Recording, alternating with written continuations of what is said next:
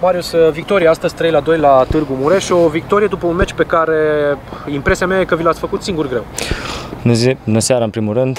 A fost un meci, într-adevăr, pe care cred și sunt convins că l-am, l-am controlat de la un capăt la celălalt, doar că ne-am creat foarte multe ocazii și nu am fost uh, maturi să ne facem meciul ușor. Am avut, cred că în prima repriză, cel puțin 10 cornere și faze la ei în careu și ne-au surprins cu o minge lungă, ceea ce am lucrat toată săptămâna. Din păcate, trebuie să, să învățăm din greșeli și să ne facem meciul mult mai ușor când avem ocazia și să fructificăm ocaziile pe care le-am avut. Ești un jucător cu experiență, ce e mai deranjant? Faptul că ratați mult sau faptul că apar aceste greșeli puține defensive până acum în acest sezon, dar de multe ori au venit golurile după Faptul că nu ne face meciul ușor, pentru că avem ocazii și cred că am dominat copios și nu am marcat. Dar cred că am intrat așa un pic că rezolvăm meciul și ne-a, ne dat Dumnezeu așa un pic de muncă ca să fim mult mai, mult mai responsabili în fața porții și să, să marcăm la ocaziile pe care le-am avut. Nu se întâmplă deseori ca Max să vă țină pe teren după meci, o mini-ședință? Am fost o ședință în care am discutat niște lucruri care rămân în bucătăria internă a noastră și sperăm să, să tragem foloasele din această ședință pe care am avut-o după meci și să învățăm din greșelile avute. Acum, trecând peste aceste lucruri, este totuși a șaptea victorie din șapte meciuri. Este singura echipă care are maximum de puncte din Liga 3. Au, luăm meci cu meci, pas cu pas. Este important că, că avem șapte victorii. Sper să o ținem așa până la, la finalul turului sau până la finalul anului acesta.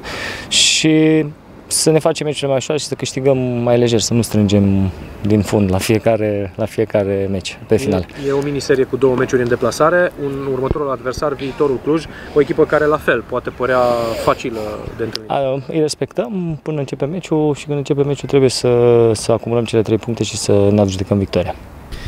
Max, o nouă victorie, a șaptea consecutivă, dar după un meci în care impresia generală, sau dacă vrei impresia mea acum, e că v-ați făcut singur meciul greu. Și a mea la fel. Am început meciul foarte bine, uh, am controlat începutul jocului până la primirea golului minutul 12.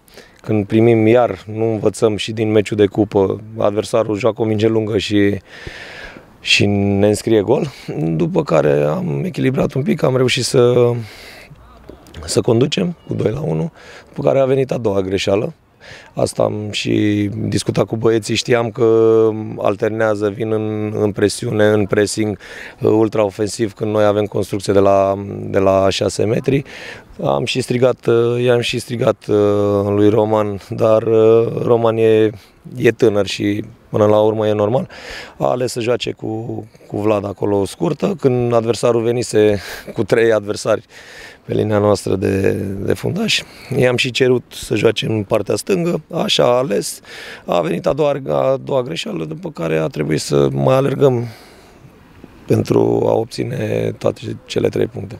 L-am întrebat și pe Marius, ce e mai deranjant? Faptul că ratați cu legeritate multe ocazii sau că apar aceste greșeli defensive? Nu, asta nu mă deranjează, pentru că acolo, în fața porții, poți să ai, din afară, din afara terenului, eu știu, uh, pare totul simplu, dar acolo îl prinde îl vezi adversarul o mișcare în plus, te prinde cumva obosit, poate în situația aia și nu mai ești la fel de limpede. Mă bucur că avem ocazii, mă supără că nu le fructificăm, dar uh, greșelile, greșelile le-am și spus băieților după meci că arătăm ca o echipă care efectiv nu face nimic uh, defensiv. Asta le-a spus? A fost o mini-ședință cei care... Nu a fost o, n-a fost o mini-ședință. Am ținut să le spun niște lucruri pentru că e o, e o victorie, dar am mai avut astfel de, de trăiri, la fel după o victorie mai concludentă. Mă doare cumva când noi stabilim ceva, trebuie să punem în practică și asta ține cumva și de personalitatea jucătorilor și de gradul lui de înțelegere și eu țin la, la lucrurile astea. Să punem în practică, pentru că le dau informațiile, eu zic uh, necesare și care să-i ajute pe parcursul jocului și țin, țin foarte, foarte mult la aceste aspecte. Dacă v-ați uitat și la în prima repriză, cred că am avut 7-8 cornere, unde am stabilit că trebuie să atacăm zona în, în colțul scurt. Am avut, cred că, 3-4 situații, cam prea lejer, parcă aici mi-aș, mi-aș dori să fie un pic mai receptiv și să pun în practică aceste lucruri. Ce s-a întâmplat cu Fane? Fane am înțeles că mi s-a blocat mușchiul, mușchiul sau ceva la inghinal. Ceva de genul. Vedem, acum e încă cal, e cald la, e după, după joc. Mâine cred că o să ne, o să ne spună docui mai multe. Urmează o nouă deplasare la Cluj, tot în fața unui adversar care poate pe hârtie să fie la fel de facil. E o lecție de învățat după o astfel de... Eu sper să, să învățăm că, uite, după meciul de cupă, băieții au arătat bine și uh, au cumva mi-au dovedit și mie și în antrenamente și în jocuri că ne-am învățat lecția, dar văd că ciclic periodic se, se întâmplă niște lucruri. Am discutat cu ei, o să discut în continuare și cine înțelege, înțelege, merge mai departe pentru că anul trecut, asta le-am spus celor celor mai vechi.